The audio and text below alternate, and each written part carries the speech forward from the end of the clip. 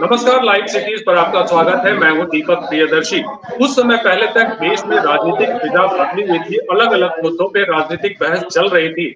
लेकिन 2 अक्टूबर को जैसे ही बिहार में जातीय जनगणना जारी जारी हुई, सब कुछ बदल गया। न सिर्फ़ बिहार में, बल्कि राष्ट्रीय स्तर पर ये एक मुद्दा बन गया। इस पर एक बहस छिड़ गई। अब कल इस पर कांग्रेस की वर्किंग कमेटी की बैठक हुई और उस बैठक में एक बड़ा फैसला हुआ कि अगर कांग्रेस सत्ता में आती है तो देश भर में जातीय जनगणना कराएगी। साथ ही साथ ओबीसी, एससी, एसटी के आरक्षण के प्रावधानों को भी कानून के माध्यम से बदला जाएगा। अब दूसरे राज्यों में भी इस पर चर्चा हो रही है, जैसे उत्तर प्रदेश, मध्य प्रदेश, राजस्थान, कर्नाटक। ये तमाम ऐसे राज्य हैं जिन पे भी जातीय जनगणना की बात होने लगी है। राजस्थान सरकार ने तो बाकायदा इस पे दो दिनों पहले नोटिफिकेशन कर दिया है कि अब वहाँ भी जातीय जनगणना कराई जाएगी। कर्नाटक में जो सिद्धारमैया की सरकार में जो जातीय जनगणना हुई थी वहाँ, उसके आंकड़े जारी करने की मांग उठ रही है, महाराष्ट्र की मांग उठ रही है। ये तमाम ऐसे मुद्दे हैं जिस पर अब बहस चढ़ गई है। ज़ाहिर सी बात है कि इस पर अब इसके केंद्र बिंदु नीतीश कुमार हैं। इसी मुद्दे पर आज हम लोग चर्चा करेंगे। पैनल में हमारे साथ हैं बीजेपी से प्रेम रंजन पटेल जी कांग्रेस से ज्ञान रंजन जी हैं और पॉलिटिकल एक्सपर्ट के रूप में अरुण पांडे जी हैं। अरुण जी सबसे पहले आपसे। बिहार में जातीय जनगणना की रिपोर्ट जारी हुई। इसके आंकड़ों पे कई तरह के सवाल खड़े हुए उस पर बहस चल रही है। विश्वसनीयता को लेकर, पारदर्शिता को लेकर वो एक अलग मुद्दा है। लेकिन जिस तरह से राष्ट्रीय स्तर पर और दूसरे राज्यों में, दिल्ली में भी और कांग्रेस में जिस तरह के बड़े फैसले हुए तो माना जाए कि अब ये जो नीतीश कुमार का जो डिसीज़न था, वो एक माइलस्टोन डिसीज़न के रूप में देखा जाए। डिसीज़न तो देखिए दीपक जी, बिहार में अगुवाई की अब इंडिया जो घटक दल है, भाजपा विरोधी दलों का, कांग्रेस, उसका अभी लीडरशिप उसके हाथ में विपक्ष में मुख्य विपक्षी दल कांग्रेस है। और कांग्रेस के फैसला है यदि की जातीय गणना हम देश भर में कराएँगे और कांग्रेस शासित राज्यों में वहाँ चुनावी घोषणा पत्र में इसको किया गया। अब तो ये मुद्दा हो ही गया। और कोई देखिए, केंद्र में आज नरेंद्र मोदी की सरकार को लोकसभा चुनाव के चार पाँच महीने बचे। वो एक मुद्दा तो बनेगा अपने महिला बिल पास किया तो लगा कि नरेंद्र मोदी ने एक मास्टर स्टॉक किया। न चाहते हुए सभी दलों ने सपोर्ट किया, भले उसमें कई सवाल उठाए, लेकिन अभी जातीय गणना का जो सवाल हुआ है, और जिस ढंग से इतना स्पष्ट है कि नरेंद्र मोदी की गवर्नमेंट जातीय गणना कराने को न तैयार हुई, न कोई है, न कोई विचार है, और जब जब ये मांग नरेंद्र मोदी गवर्नमेंट के सामने आई। अब सबसे बड़ा उदाहरण तो देश बिहार से ये मांग दलीय शिष्टमंडल गया था। उसमें तब जब भाजपा बिहार में नीतीश जी के साथ सत्ता में थी और राजद विपक्ष में था और प्रधानमंत्री ने नहीं मानी और उसके बाद यहाँ तक कि ये इश्यू को लेकर के मामला सुप्रीम कोर्ट में गया तो उस समय सेंसस के सवाल पर जातीय गणना का जो बिहार में हो रहा था वो केंद्र सरकार का दृष्टिकोण था कि वो इसके पक्ष नहीं है। बाद में फिर इसमें कहीं कोई राजनीतिक पेच न पहुँच जाए केंद्र सरकार ने दूसरा हलफनामा दायर किया और कहा कि सेंसस के खिलाफ तो हम हैं, इसे सेंसस कराने का अधिकार केंद्र सरकार को है, लेकिन कास्ट सेंसस जिस उद्देश्य से राज्य सरकार करा रही है, वो कराए उसमें हमारी कोई आपत्ति नहीं है। अब रही बात की भाजपा तो कास्ट सेंसस का विरोध नहीं कर रही है, लेकिन समर्थन भी खुलकर नहीं कर रही है। और ये राजनीतिक मुद्दा अभी हमें लगता है कि कांग्रेस ने इसको रोका, इसलिए उसको लगता है कि इसी मुद्दे पर सहारे हम नरेंद्र मोदी गवर्नमेंट को घेर सकते हैं। लेकिन फिर एक सवाल उठता है, जो बिहार से बात हुई, जैसे ही मंडल कमीशन के बाद, आरक्षण के बाद एक बड़ा मुद्दा ही बना है। और न सिर्फ़ ही जातीय गणना होगी, बस इसके बाद जो अभी दो, तीन दशक से जिसकी जितनी आबादी, उतना हक मिले, जो ये बात उठती रही थी और कांग्रेस इसको नहीं मानती थी तो ये बात स्पष्ट हो गई है। जैसे बिहार में जो जातीय गणना हुई, अब पूरे देश कम देश आंकड़ा परसेंटेज में जो आवे, लेकिन तो यही है कि देश भर में पिछड़ों की आबादी से अधिक, अति पिछड़ों की आबादी है। और फिर उसके बाद अनुसूचित जाति और जनजाति की आबादी तो सेंसस होता रहा है हर दस साल पर। और उनकी कितनी है, देश में कितने हिंदू, मुस्लिम और विभिन्न संप्रदाय, धर्म के लोग हैं, ये सबकी तो गिनती होती ही रही है। सिर्फ़ जात जात की कितनी आबादी है उन्नीस सौ इक्कीस के बाद देश में कोई जात का की गणना और उसकी आंकड़ा उपलब्ध नहीं है। अब ये मांग हुई, हमें लगता है कि देर सवेर ये देर सवेर शायद मुझे लगता है कि इस मांग को लंबे दिन तक दबाया नहीं जा सकता है। और लोक सभा के चुनाव में तो निश्चित रूप से कांग्रेस ने इसको जिस दमखम से इसका समर्थन किया है सेंट्रल वर्किंग कमेटी से फैसला लिया है, ये मैं नहीं मानता हूँ। अब कल राहुल गांधी ने जब मीडिया को ब्रीफ किया तो इसको ऐतिहासिक फैसला बताया। स्वाभाविक ही कांग्रेस के लिए ऐतिहासिक फैसला था। जाति का, रंग और सियासी राजनीति करके वोट बटोरने के लिए यदि कुछ हो रहा है तो फिर मैं इसे राजनीतिक बेईमानी समझता हूँ। इससे न जात का हित होगा न समाज का हित होगा। ठीक है निर्देश में है उसमें बहुत तो यदि भक्त जी बहुत अंतर नहीं है। मुझे लगता है कि बिहार से जो ये आवाज़ उठी है अब देश भर में फैली है और इसको अब कितने बहुत दिन तक दबाया नहीं जा सकता है ऐसा मेरा आकलन। ठीक है। ज्ञान जी आपसे शुरू शुरू में जब ये जातीय जनगणना के आंकड़ों को लेकर बातचीत हो रही थी या जातीय जनगणना के रिपोर्ट को लेकर बातचीत हो रही थी ज्ञान जी आपसे सवाल है कि जब ये बातचीत हो रही थी, आरजेडी और जेडीयू जितनी उत्साहित थी, आप लोगों ने साथ दिया, उत्साह भी था आप लोगों में, लेकिन उतना नहीं था। अब जब ये मुद्दा बन गया है तब आपको ये लगा या आपकी पार्टी को ये लगा कि शायद नरेंद्र मोदी को सटीक जवाब देने के लिए यही सही मुद्दा है और इसलिए कांग्रेस पार्टी ने इस मुद्दे को लपक लिया और इसे तरह का चुनावी मुद्दा बना लिया। नहीं नहीं, मैं आपकी इस बात से सहमत नहीं हूँ कि लपक लिया। देखिए, आपको अभी अरुण भैया जी ने इस प्लेटफॉर्म पे बहुत बड़ी बात कही कि 2011 में ही जब यूपीए टू थी तो उस समय जब इसकी मांग हुई तो उसी समय कांग्रेस पार्टी ने यूपीए टू जो हमारे मनमोहन सिंह जो प्रधानमंत्री के तत्कालीन और प्रणब मुखर्जी जी, होम मिनिस्टर थे, उन्होंने इस तरह का काम करने का आगाज़ शुरू किया था, उसके बजट एलोकेट थी और काम भी पूरा हुआ, हो गया था, जो लगभग 2013 के एंड तक, दिसंबर तक में पूरी चीज़ें कंप्लीट हो गई थी। और उसके बाद सत्ता परिवर्तन हो गया, आचार संहिता हुई, सत्ता परिवर्तन हो गया, और उस रिपोर्ट पे अरुण जेटली जी और मोदी सरकार बैठ गई। और जबकि अरुण जेटली जी ने 2014 के बजट जब कर रहे थे तो उन्होंने वादा भी किया था देश से कि मैं इसको पब्लिश करूँगा, जो तो अभी तक नहीं किया। तो मैं बात सीरियस से खारिज करता हूँ कि लपक गया। दूसरी बहुत इंपॉर्टेंट बात, हमेशा की तरह आज भी बिहार देश को राजनीतिक मुद्दे को दिशा देती है, जो जातिगत जनगणना और सर्वेक्षण के काम में भी पूरे देश को देने का काम किया। ये शुरू से बिहार की ऐसी पृष्ठभूमि रही है, चाहे वो राजनीतिक हो या सामाजिक हो, एक दिशा ज़रूर देती है देश को। और फिर से नीतीश कुमार जी के नेतृत्व में, हमारे मुख्यमंत्री जी के नेतृत्व में जो नौ दलें थे, जितने भी बिहार के, सबने मिलकर इसको एक पहल को विधानसभा में पारित किया। दोनों हाउस में पारित हुआ और 500 करोड़ का बजट एलोकेट करके उसको समय रहते इसे पूरा कर लिया गया और इसको एक असली रिपोर्ट जो होती है, बातों में नहीं रही, ये रिपोर्ट पब्लिश किया और जिससे कि सारे आंकड़े सामने आए। तो काम करने की इच्छा एक दृढ़ शक्ति जो होती है, बिहार हमेशा देश को आईना दिखाने का काम करता है। जिस तरह से सदन में नरेंद्र मोदी की सरकार, नित्यानंद जी जो गृह राज्य मंत्री, उन्होंने सीधा कहा कि नरेंद्र से केंद्र की सरकार जातिगत जनगणना नहीं कराएगी। तो नीतीश, हमारे सूबे के माननीय मुख्यमंत्री नीतीश कुमार जी ने एक संदेश दिया है कि हो सकता है, इतनी जटिल समस्या नहीं है, इसे कराया जा सकता है, पर आपकी संकल्पित होनी चाहिए, आपकी दृढ़ शक्ति होनी चाहिए कि आप उसे कर सकें। तीसरी सबसे बड़ी बात। कल जैसे आपने हमारे नेता राहुल गांधी जी की बात कही, उन्होंने बहुत बहुत भावपूर्वक और आदरपूर्वक उन्होंने एक बहुत बात कही कि ये राजनीतिक मुद्दा नहीं है, ये न्याय का मुद्दा है। बात को समझिए, जब हम सामाजिक न्याय की बात करते हैं और जब चारों तरफ़ से आवाज़ उठानी पड़ती है तो जब हम डेमोक्रेसी में है डेमोक्रेटिक स्टेट में है, जहाँ पे गणतंत्र का राज है, वहाँ पे आपकी लोगों की आवाज़ सुननी पड़ेगी। आज अगर ये चारों तरफ़ से ये मांग आ रही है तो इसे करना ही होगा। आज नहीं तो कल।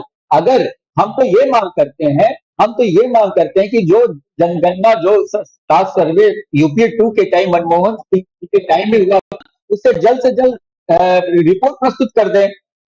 जो एक नॉर्मल जनगणना होती है द, एक दशक में एक बार एक इंपॉर्टेंट बात है वो भी मोदी सरकार नहीं करा पाई है। तो आप ये समझिए वो चीज़ों को सिर्फ़ बात में बता के उन्हें जनहित से कुछ लेना देना नहीं है। हमारे लिए नया का मुद्दा है अगर हमारे नेता ने ये पुरजोर तरीके से उठाया तो उसके साथ पूरे वो देश की फीलिंग को समझ रहे हैं। क्योंकि उन्होंने चार हज़ार के लगभग भारत जोड़ो यात्रा में उन्होंने पैदल गए हैं, लोगों की आवाज़ सुनिए लोगों की व्यथा सुनिए और उसी व्यथा क्या है कि यह न्याय के तौर पर मांग की जा रही कि पूरे देश में हम भी अपने नेता की आवाज़ को फिर से यहाँ आपके माध्यम से बोलना चाहेंगे कि हम केंद्र सरकार से ये मांग करते हैं कि जो 2011 में जो जातिगत जनगणना हुई थी socio economic survey caste census उसको जारी करें और देश में जल्द से जल्द कास्ट सेंसस नरेंद्र मोदी की सरकार केंद्र में कराए। प्रेम जी, आपसे पूछना चाहते हैं कि इस इस जातीय जनगणना के मुद्दे पे कहीं ना कहीं बीजेपी साथ थी, सहमत भी थी, असहमत भी थी, एक डायलेमा की स्थिति थी। लेकिन अभी भी पूरी तस्वीर जो है जिस तरह से अरुण जी भी बोल रहे थे कि अब कहीं ना कहीं एक डायलेमा की स्थिति में बीजेपी शुरू से इस मुद्दे पर रही है। अब जातीय जनगणना की रिपोर्ट जारी हुई। कांग्रेस ने अब उसको अडॉप्ट किया कि अब उसे देश में हम कराएँगे जब अगर सत्ता में आएँगे। क्या परेशानी थी? किस बात का डर था जो देश में जातीय जनगणना नहीं कराई बीजेपी? या नहीं कराना चाह रही? दीपक जी, सबसे पहले तो ये जो गणना हुई है, उस गणना में भारतीय जनता पार्टी का साथ रहा है। विधानसभा में चाहे वह सर्वसम्मत प्रस्ताव पारित करने का हो प्रतिनिधि मंडल मिलने का हो या अन्य जगहों पर, चाहे कैबिनेट से पारित कराने का हो, हर जगह पर भारतीय जनता पार्टी का साथ रहा है। बगैर भारतीय जनता पार्टी के ये संभव नहीं हो सका है। आज जो ऐसे बोल दे, भले जो ऐसे गठबंधन से अलग जाने के बाद जो ऐसे उसको किस रूप में और किस तरीके से वो पेश कर रहे हैं, ये उनकी जो ऐसे नीति है, लेकिन सबसे मुख्य है कि जिस प्रकार से ये जातीय गणना कराई गई थी, एक तरह से सर्वे जो कहा गया था कि आर्थिक, सामाजिक और शैक्षिक आधार को कैसे जो है हम जानकारी प्राप्त कर सकेंगे और इसके माध्यम से। और उसके माध्यम से हम योजनाएँ बनानेंगे जो अब तक जो है दबे, कुचले, शोषित, वंचित रह गए, कमज़ोर रह गए, योजनाओं का जिनको लाभ नहीं मिल सका मिल सका है, जो पिछड़ गए हैं, उन लोगों के लिए इसके माध्यम से हम योजना बनाने का काम करेंगे उन योजनाओं को सफलीभूत उन सब लोगों के बीच में करने का काम करेंगे। तो ये जब गणना का किया गया तो गणना में जो है आर्थिक सामाजिक शैक्षिक आधार था केवल जो है संख्या को गिन लिया गया संख्या भी गिना गया है उसमें भी त्रुटियाँ है। कई जो है प्रश्न आ रहे हैं तो त्रुटियों का निराकरण भी होना चाहिए। हर चीज़ का जो है रहती है कि कोई अगर त्रुटियाँ होती है तो उन त्रुटियों का सुधार किया जाता है। अगर किसी को लगता है कि हमारे जो है गणना करने में कोई चूक हुई है या हमको छूटा हमको छोड़ दिया गया है या हमारी पूरी तरह से गणना नहीं हुई है तो कहाँ कमी रह गई है उन कमियों को कैसे दूर किया जा सकता है ये सरकार को खुद जो है इस पर निर्णय लेना तो चाहिए कोई समिति बना के कोई आयोग बना करके किसी प्रकार का। रिपोर्ट जारी होने के बाद पटेल जी कहीं ना कहीं आप लोग की जो स्ट्रेटेजी है चाहे वो प्रदेश के स्तर पे हो चाहे राष्ट्रीय स्तर पे हो जो एक चुनाव को लेकर आप लोग की जो स्ट्रेटेजी चल रही थी, वो उस स्ट्रेटेजी को पूरा पलट के रख दिया इस रिपोर्ट में नहीं नहीं, कोई इससे अंतर नहीं है। हम लोग तो हैं। अब हमारे प्रधानमंत्री जी का जो नीति रहा है जो जितनी योजनाएँ बनी है, आप जरा देख लीजिए कि वो गरीब आधारित, कमज़ोर आधारित, पिछड़े आधारित, जो वंचित हैं, अंतिम पायदान पर रहने वाले हैं, जिनको अभी तक मुख्य धारा में नहीं जोड़ा गया, आधार तो ही बनाया गया है। चाहे जनधन खाता का हो या जो है उज्ज्वला योजना का हो, सौभाग्य योजना के तहत बिजली का कनेक्शन देने का हो, प्रधानमंत्री आवास योजना पक्के मकान हो, जन आरोग्य योजना के तहत जो है उनको स्वास्थ्य लाभ की पाँच लाख रुपया प्रति परिवार देने का हो, जितनी प्रकार की योजनाएँ हैं। किसान सम्मान निधि है, हर प्रकार की स्वच्छता के तहत जो ऐसे शौचालय बनाने का जितनी प्रकार की योजनाएँ हैं। वो सब गरीब आधारित है, कमज़ोर आधारित है, पिछड़े आधारित है, वंचित आधारित है कि जो लोग पिछड़ गए हैं, जो लोग वंचित रह गए हैं, जिनको मुख्यधारा में नहीं जोड़ा गया। हाँ दूसरी बात, उनको राजनीतिक रूप से जो है उनके महत्व को आंकना, ये बड़ी बात है। और आप देखेंगे कि कांग्रेस आज घरियाली आँसू बहा रही है। लंबे समय तक शासन में, देश में रही है कांग्रेस पार्टी। और इनके जो ऐसे अब तक जो ऐसे 250 विधायक थी, मुख्यमंत्री बने हैं कांग्रेस के, आज़ादी के बाद से ही। और 250 में ओबीसी के केवल 42 आप सोच लीजिए कि इनका क्या परसेंटेज है? भारतीय जनता पार्टी के भी जो ऐसे बयालीस मुख्यमंत्री अब तक बने हैं, उसमें से 21 ओबीसी का। मैं पूछना चाहता हूँ, आज तो बोल रहे हैं कि पूरे देश में कराएँगे, जिनकी जितनी भागीदारी, उनकी हिस्सेदारी, सब कुछ कर रहे हैं तो आप क्यों नहीं किए? आज भी जो है ओबीसी के विधायकों की संख्या पूरे देश के अंदर में सबसे ज़्यादा भारतीय जनता पार्टी के पास है। ओबीसी की सांसदों की संख्या सबसे ज़्यादा भारतीय जनता पार्टी के पास है। आप बिहार की भी चर्चा कर लीजिए। बिहार में आप तक जितनी सरकारें रही है, उस सरकार में जो मुख्यमंत्री बने हैं, उस मुख्यमंत्री में कांग्रेस सबसे अधिक दिनों तक रहा है। और कांग्रेस ने कौन सा ओबीसी को बनाया? कौन से ओबीसी के आधार पर इन्होंने राज्य को ले चलने का काम किया? या जो ओबीसी थे दबे कुचले शोषित जिसकी बात करते हैं वो ओबीसी को कहा मुख्य धारा में जोड़ने का क्या? कहा उनको राजनीतिक तौर पे उनको महत्व देने का काम किया? आज जो है जब सत्ता से बाहर कांग्रेस चली गई है तो इनको लगता है कि कोई ऐसा मुद्दा तलाश हो कोई ऐसी जो है से कि फिर से कुर्सी पर आए ये केवल जो है से सत्ता प्राप्त करने का कुर्सी पर काबिज होने का ये केवल नारा मात्र इनका है और इनकी कोई मंशा नहीं है ओबीसी के महत्व को देना ओबीसी को मज़बूत बनाना। आपसे सवाल ये है कि जिस तरह से जितनी चिंता अभी आज के डेट में जातीय जनगणना की रिपोर्ट आने के बाद कांग्रेस को जितनी जातियों की चिंता हो रही है क्या शुरू से कांग्रेस को इतनी चिंता ओबीसी और तमाम ऐसे जो, जो कास्ट फैक्टर थे, उसकी चिंता कभी हुई थी?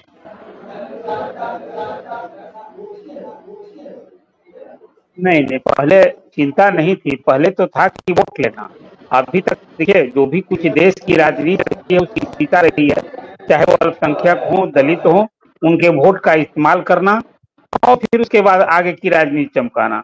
अब जो ही अब राजनीतिक करवट ली है, अब स्थिति बदल गई है।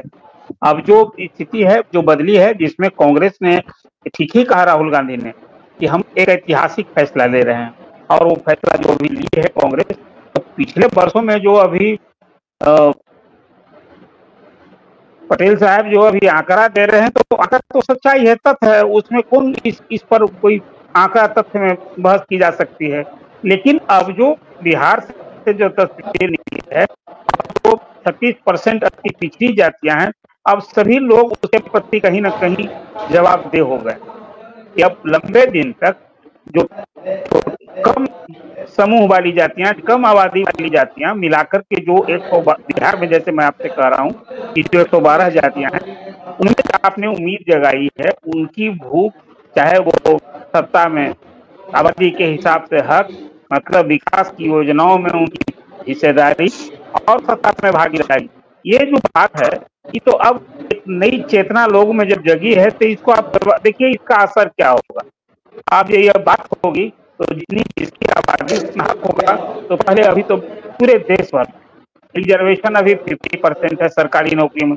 ये जाति के हिसाब से सबसे बड़ा फैसला और जो बहुत संवेदनशील मुद्दा अब तक रहा है देश का सबसे बड़ा राजनीतिक मुद्दा रहा है और इस आरक्षण के सहारे बहुत से अधिकतर पार्टियों की दुकानें चलती है।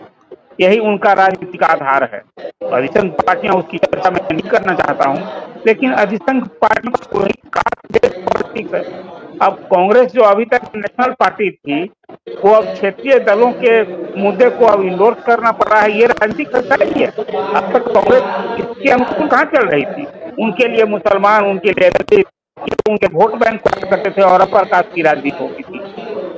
पिछड़ों को जो पिछड़े चाहे अति पिछड़ों को जगह मिलती थी उनकी आबादी के हिसाब से जो हिस्सेदारी और भागीदारी मिली होती तो प्रेम रंजन पटेल जी ने जो पूरे देश में आज़ादी के बाद आंकड़ा दिया है वो तस्वीर शायद नहीं है।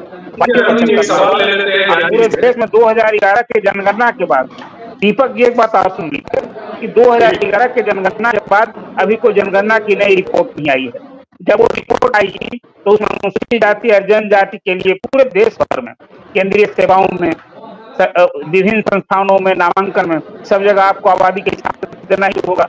अभी चौवन परसेंट माना गया था कि देश में पिछड़ों की आबादी है। आप सत्ताईस परसेंट आरक्षण दे रहे हैं। जो बिहार की तस्वीर आई है, उसमें आई कि सिक्सटी थ्री परसेंट है पिछड़े अति पिछड़े। स्वाभाविक रूप से उनके भी आरक्षण की सीमा बढ़ाने की मांग होगी कुल मिला जुलाकर एक नया संविधान में आपको संशोधन करना पड़ेगा। सुप्रीम कोर्ट ने अभी तक जो बैरियर लगा रखा है, कि आप 50 परसेंट से अधिक नहीं कर सकते हैं, उस बैरियर को तोड़ना होगा। और जिस तरह से दक्षिण के राज्यों में पचहत्तर परसेंट तक आरक्षण है, वो अब तक पूरे देश में लागू करना होगा। और फिर प्रारंभ में मैंने बात की थी कि जो आर्थिक, शैक्षणिक रूप से पिछड़ी जातियाँ हैं, उनके लिए निश्चित रूप से सामाजिक उत्थान के लिए विशेष योजनाएँ, ईमानदारी पूर्वक चलानी होगी।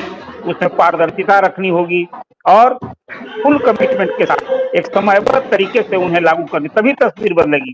नहीं तो अनंत काल तक की जो आप कहते हैं कि सहारे और कोई किसी के किसी का जिसको कहिए कि विशेष किस दिन तक समाज चले ठीक है ज्ञान जी जिस तरह से अभी अरुण जी बता रहे थे कि हमेशा से वोट बैंक को लेकर आपने जातियों को वोट बैंक के रूप में इस्तेमाल किया, सवर्णों को, दलितों को, मुसलमानों को, और अब जाके जब आप सत्ता से बाहर हैं, इतने दिनों से आप बाहर हैं, तब आपको उनकी याद आ रही है, या फिर उन्हें अब साथ लेना आपको मजबूरी हो गई है। क्या आने वाले दिनों में जो कांग्रेस ये बात कह रही है, जो वायदे जो कल की मीटिंग में हुई, ये वायदे अगर सत्ता में आती है, वो ये वायदे पूरे होंगे या ये सिर्फ़ चुनावी वायदा है नहीं देखिए कल हमारे नेता राहुल गांधी जी ने इस, इस सवाल का भी जवाब इंडायरेक्टली दिया था कि कांग्रेस जब वादा करती है तो निभाती है। और उसका एग्ज़ाम पिछले आप कर्नाटक हिमाचल और छत्तीसगढ़ और राजस्थान में आपने देखा होगा कि जो जो हमने मैनिफेस्टो में किया और फ़र्स्ट कैबिनेट में हमने उसे पूरा करने की काम है मैं आपको कुछ बहुत इंपॉर्टेंट बात यहाँ बताना चाहता हूँ आप लाइव सिटीज़ के माध्यम से। आपके व्यूअर्स बहुत हैं।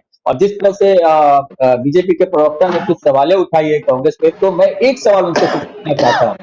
मैं बताता हूँ लगभग लगभग सौ वर्ष होने को आए हैं आरएसएस के अस्तित्व में।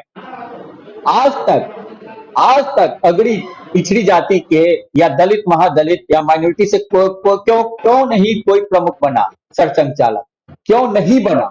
ये सिर्फ़ बातें इन लोग करते हैं। आखिर इन्होंने क्यों नहीं सौ साल और वही 125 साल का कांग्रेस का इतिहास देखिए जहाँ पे हर जाति धर्म के लोग हर जाति के नहीं हम तो जाति पे बात कर रहे हैं दीपक जी ये तो बहुत बड़ा सवाल है सर पटेल जी ने दीपक जी दीपक जी जरा ज्ञान जी को बताइए एक मिनट राजनीतिक महत्व देने का है ओबीसी को। क्या बात और उनके सामाजिक शैक्षणिक आर्थिक स्थितियों का जो है से उनको जो है से ऊपर उठाना है। दीपक जी और ये चले गए आरएसएस में चले गए। दीपक जी दीपक जी हमको देखिए पटेल जी घबराइए नहीं हमको पता है आप बीजेपी के हैं। जहाँ इस बात को नहीं टोकेगा था आपका नंबर कम होगा आप समझते हैं इस बात की बात। लेकिन मेरी बातों को समझिए ये सच्चाई है जो लोग आज तक प्रमुख होके पाँच या छह लोग बने हैं उनमें से एक उत्तर प्रदेश के राजा विजय को छोड़ दिया जाए तो एक जाति के प्रमुख लोग हैं। मुझे ये कहना है जिसकी संस्था जिसके पेरेंट्स संस्था कि डीएनए में इस तरह की बातें हो वो किस तरह से अति पिछड़ा और दलित की बात कर सकता है जहाँ छुआछूत की बीमारी की बात करते हो कैसे ही कर सकता है। तो मैं आपको विश्वास दिलाता हूँ कि जो समय की मांग हम गणतंत्र में हैं गणतंत्र में अगर मुखर आके जनता अगर कोई आवाज़ उठाती है तो उसकी सुनने की शक्ति होती ना कि मन की बात सुनने की बता रहे थे कि अभी तमाम जितने भी वोट बैंक है मुसलमान सवर्ण दलित इसको तमाम जितनी भी जातियाँ हैं उन जातियों को तो आपने भी सिर्फ़ वोट बैंक के रूप में इस्तेमाल किया। देखिए उसकी मैं आपको कहता हूँ? मैं कैसी बात कर रहे हैं? देश में इतनी बड़ी संस्था हमने आज़ादी के बाद जहाँ पे सुई बनाने की सुविधा नहीं थी धीरे धीरे हमने देश को गढ़ा है। अलग अलग फूलों को बना के एक माला बनाया है, बागवान बनाया है, बगीचा बनाया है। समय लगता है चीज़ों को करने में। आप कहते हो, जब हमारा एक स्टेट पे देश है, हर साल कितनी भी विकट परिस्थिति हो, जनगणना हुई है, दस, हर दस साल में जो होती है, लेकिन मोदी सरकार ने एक जनगणना का भी काम ठीक से नहीं कराया, जो 2021 में पेंडिंग था, आज तक नहीं करा पाए हैं। आप ये समझिए किस तरह से काम कर रहे हैं। पूछ लीजिए ना। मेरे दो सवालों का जवाब दीपक जी एक मिनट मेरे दो सवालों का जवाब पूछे कि सौ साल लगभग हो गया आज तक आरएसएस ने ओबीसी दलित से क्यों नहीं किसी को प्रमुख बनाया? आखिर क्या कारण है? और दूसरा क्यों नहीं जातिगत जनगणना कराई? मोदी जी ने रिपोर्ट क्यों नहीं पब्लिश किया? बस ये तीन छोटे सवाल है। पूछ लीजिए। दीपक जी उन्होंने आज जो चर्चा हो रही है आपके साथ वो गन्ना को लेकर कर ये हो रही है। राजनीतिक महत्व ओबीसी को राजनीतिक महत्व देने की के लिए हो रहा है। उनके जीवन स्तर को कैसे हम ऊपर उठा सके सामाजिक शैक्षिक स्थितियों को कैसे उनका हम ठीक कर सके इसके लिए हो रही है। और ये चले गए आरएसएस। आरएसएस राजनीति से कोई मतलब नहीं है। वो स्वयं सेवी संगठन है राष्ट्रवादी संगठन है। आरएसएस वो अपना काम करती है। किसको बनाना है किसको रखना है और कौन लोग रहेगा उसका जो है भारतीय जनता पार्टी को उससे कोई मतलब नहीं है। आप आप पॉलिटिकल पार्टी के काम करते हैं राजनीतिक क्षेत्र में काम करते हैं तो राजनीतिक महत्व कितना ओबीसी को आप देते हैं? उनके महत्व को कितना आंकने का काम करते हैं? इनको जो है केवल वोट के रूप में इस्तेमाल कर करके वोट लेने का काम करते हैं लेकिन उनके जीवन को कभी ऐसे आगे बढ़ाने के लिए बीजेपी ने घटना नहीं कराई तो क्या अपनी तरफ़ से बीजेपी ये कोई अभी डिसीज़न या फैसला होगा कि बीजेपी की ओर से राष्ट्रीय स्तर पे जातीय जनगणना होगी। दूसरी बात इन्होंने कही कि जो 2011 में जो गणना हुई थी, उसके जो आंकड़े प्रकाशित नहीं हुए, क्या सेंट्रल गवर्नमेंट इसको प्रकाशित करेगी? देखिए 2011 में जो इन्होंने गणना कराया था, दबाव में तो गणना कराए थे, लेकिन उसके बाद उसको प्रकाशित नहीं किए। और खुद इन्होंने कहा कि उसमें बहुत सारी त्रुटियाँ हैं। उसको हम सामने नहीं ला सकते हैं, नहीं प्रकाशित कर सकते हैं, सबके सामने जो है रखना मुश्किल है। तो इनकी मंशा नहीं थी ये उसमें कुछ ना कुछ ऐसे त्रुटि डाल दिए हैं कि वो संभव नहीं कि वो गन्ना सभी जो ऐसे संभव है। दूसरा कि दूसरा जिसको प्रकाशित किया जा सकता है ये चार वर्षों तक ग्यारह में किया गया और चौदह तक जो ऐसे ये सत्ता में थे। अगर इनको अगर उसको प्रकाशित करना रहता तो ये कर देते। संसद के अंदर में इनके जो है सरकार के मंत्रियों ने जो है सीधे तौर पे कहा कि हम उसको प्रकाशित नहीं कर सकते हैं उसमें बहुत सारी त्रुटियाँ हैं बहुत सारे हमारी जो है परिस्थितियाँ ऐसी है कि हम नहीं कर सकते हैं। मेरे साथ ए, ए, कुछ ऐसे रहे गन्ना की तो राज्यों को अधिकार दिया गया है। बिहार की सरकार अगर गन्ना कराई है तो इसमें जो है केंद्र ने छूट दिया कि अगर आपको करना हो अपने राज्यों में आपको लगता है कि गन्ना कराने का तो आप करा सकते हैं। हर राज्यों को जो ऐसे स्थितियाँ जो है उस स्थिति में है। उड़ीसा में आज जो है आयोग बना कर करके उसकी गन्ना जो है वो कर रहा है। प्रकाशित अभी नहीं किया है लेकिन प्रकाशित करने वाला है। राजस्थान छत्तीसगढ़ ने घोषणा किया है। कई ऐसे राज्य है जो अपने हिसाब से अपने अनुसार वो गणना करने को स्वतंत्र है और जब उनकी इच्छा हो जैसे इच्छा हो वो गणना कर सकते हैं। राष्ट्रीय स्तर पर इसकी आवश्यकता अभी नहीं हो। रही है राष्ट्रीय स्तर पर जब ऐसी आवश्यकताएँ महसूस होगी तो निश्चित तौर पर सरकार उस पर निर्णय लेने का काम कर दिया है कि अगर वो सत्ता में आती है तो जातिगत जनगणना कराएगी। ज़ाहिर सी बात है कि अब जो इस पर बहस अब शुरू हुई है ये अभी आने वाले दिनों में चलती रहेगी। इस चर्चा में भाग लिया आप सभी मेहमानों ने। प्रेम रंजन जी आपका बहुत बहुत धन्यवाद। ज्ञान जी आपका धन्यवाद। और अरुण जी आपका भी बहुत बहुत धन्यवाद।